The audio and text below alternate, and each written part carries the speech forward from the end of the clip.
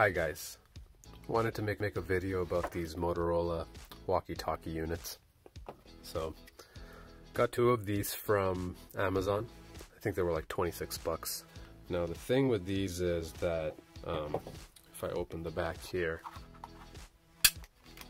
they take three AAAs. If you get the regular alkalines, I think these AAAs ought to be around like 800 milliamp hour. We're to try and hack these walkie-talkies, but we're to see if we can power these with something rechargeable that we have laying around um, instead of having to buy AAAs, hoping if we can do like lithium ion, like one cell should do the trick. There's three of these cells that go in here. The alkaline ones are 1.5 volts a piece these rechargeable ones I have in here are nickel cadmium, so they're at 1.2 volts. So, you know, it doesn't show a low battery voltage or anything like that.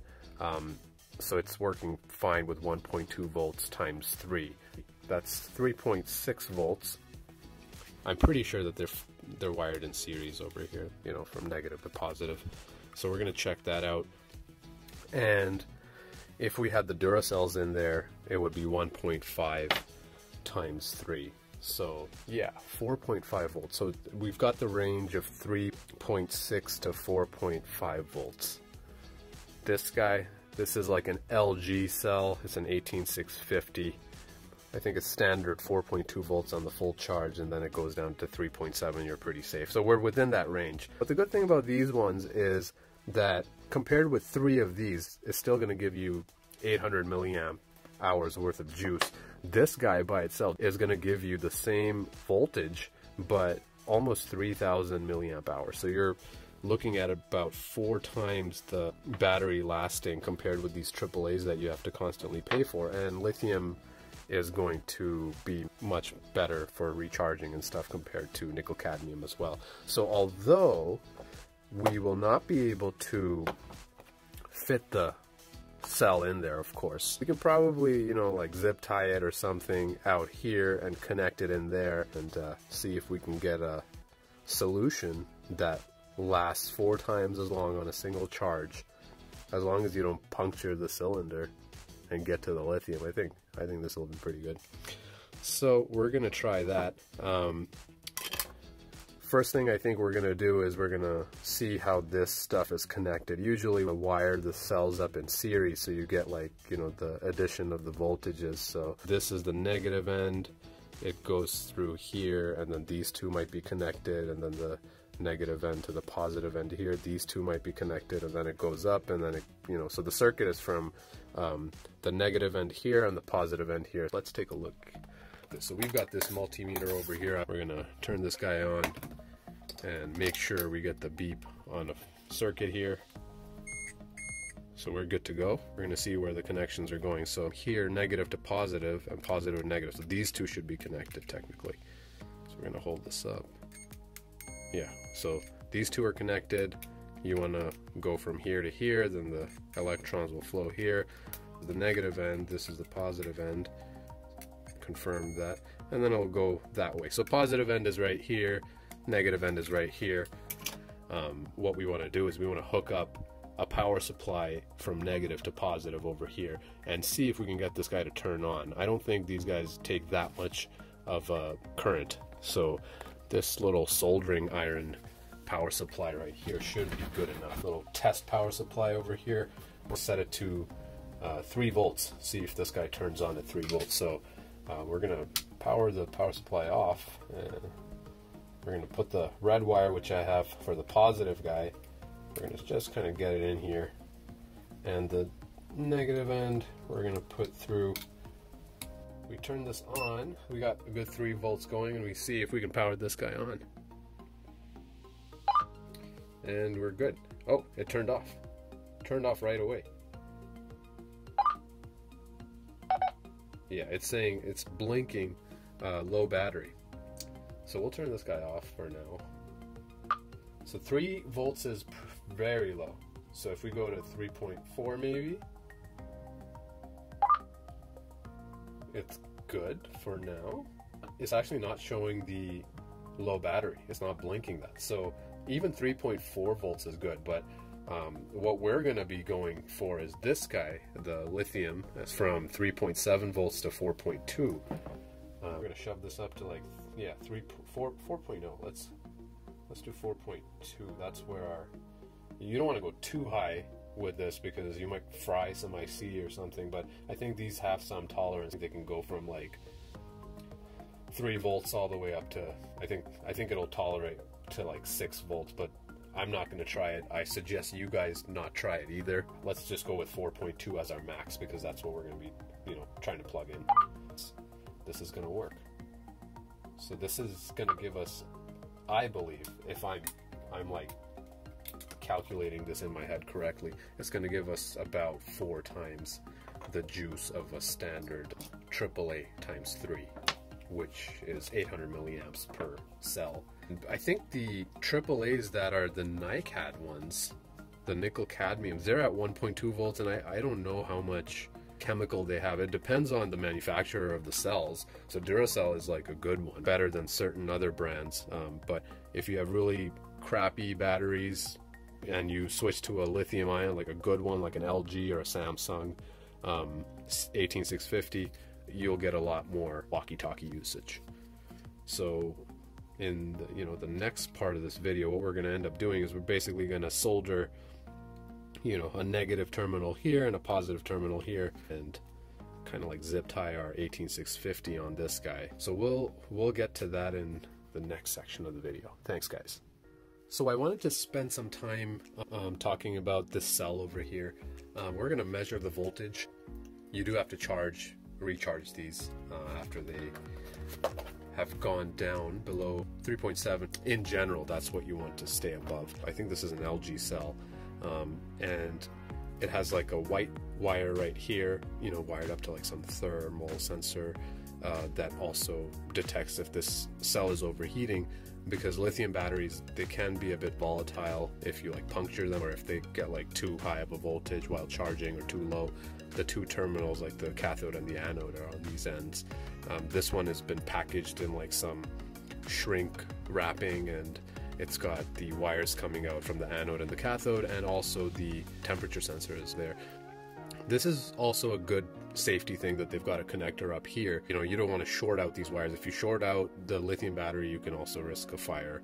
It's an oxidizing reaction, pretty difficult to put out. You kind of just have to let the chemical reaction take its course. We're going to measure the voltage on the terminals here and see if this is still good. The LG ones are uh, are nice enough. I think they have like a little circuit board on top, you know, under voltage protection. If the voltage falls below a certain point, it will disconnect the circuits. This particular cell has been sitting in my shed for a long time. I was using it for a project when I used to work on drones several years ago. Because of the circuit, this cell should still be pretty good.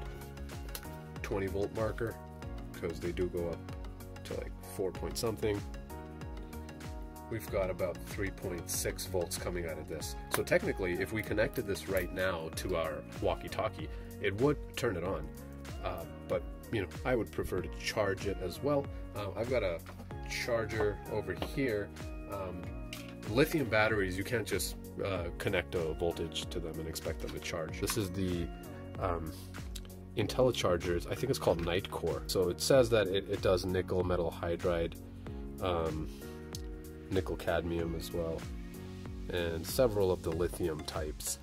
It doesn't say alkaline, but I had these, these are alkaline uh, rechargeables.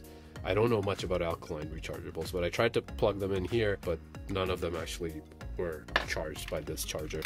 But it does, uh, we know that it supports lithium, so we're gonna have to plug the negative terminal to one of these on the positive terminal and uh, charge this up. Please do get a lithium ion compatible charger for these because they do have a distinct charge uh, curve that uh, the current and the voltage have to follow. Otherwise, uh, you might risk like the cell overheating. So just for safety, it has to be a lithium uh, battery charger. But we want to be careful. We don't want to, you know, short the battery by connecting the the black wire with the red wire. Um, so we're going to have to be careful with that.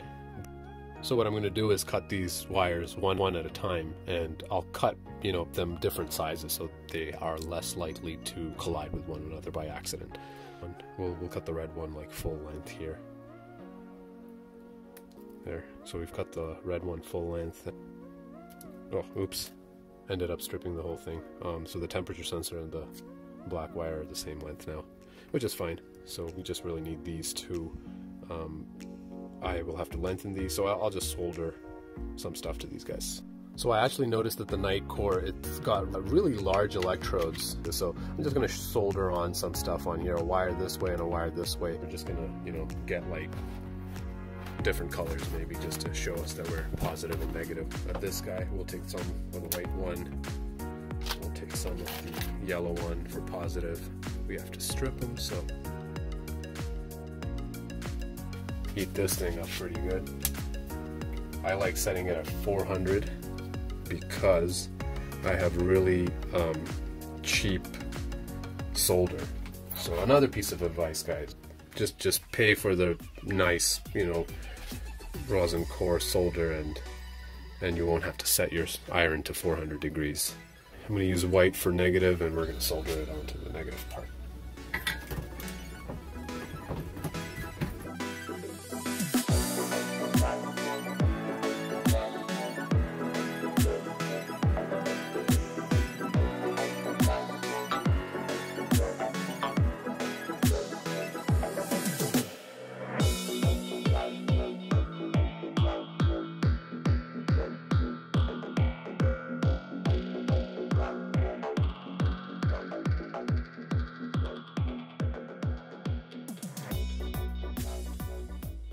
Terminals are exposed. They can touch each other. Let's be careful with this as well. Let's not short out the circuit. I've kind of bent this black wire to, to keep it away from the red one.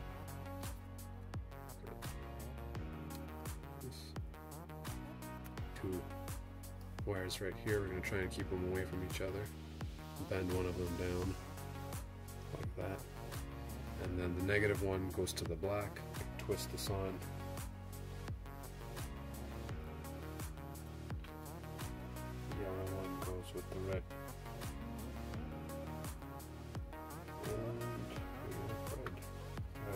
keep that in this position so that the, the red and the black wire are away from each other. And then we'll go ahead and plug this in and see if it charges it. It's noticed that it's got a, you know, pretty discharged lithium ion, lithium polymer, and it started charging and it knows that it's it's at a pretty low voltage because it is at 3.6. So we'll keep this plugged in. You know, we're going to pay attention to it. We don't want to leave this charging unattended. So we can do some soldering on this while this battery charges. So here we're going to do the same thing. We're going to solder some terminals onto this guy right here. What we'll do is we'll we'll tin this first and then we'll solder the wire on. White one will go to the negative, the red one will go over here to the positive.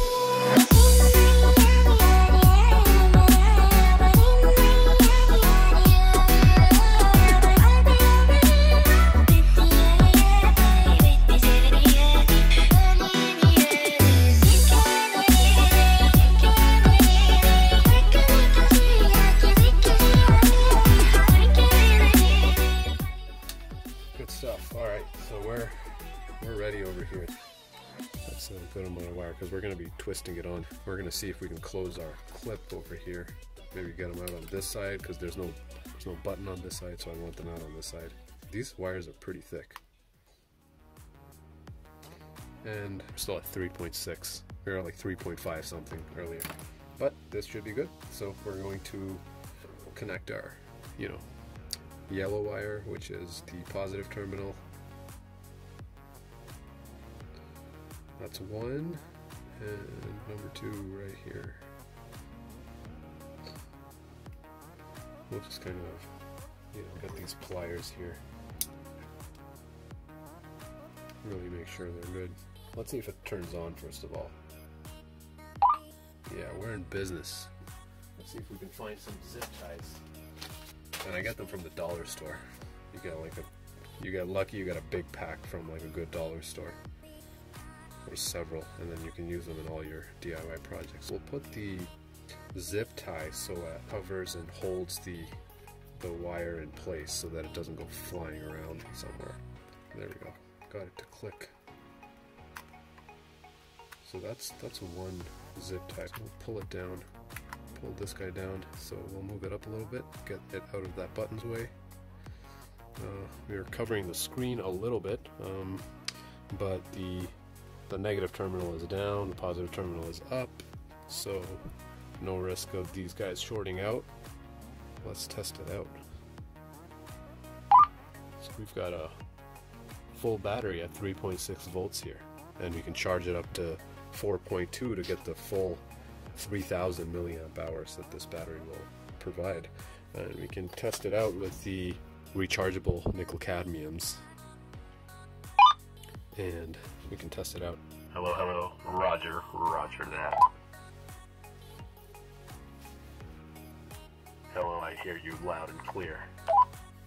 I'm planning on hacking these further, so stay tuned. I'm, I'm thinking maybe something with like Arduino or Raspberry Pi or something. Well, we'll figure something out. So stay tuned for the next project. But yeah. Hi guys, just wanted to make an update video for these walkie-talkies. This is the one with the NiCad AAA's that we recharged to full.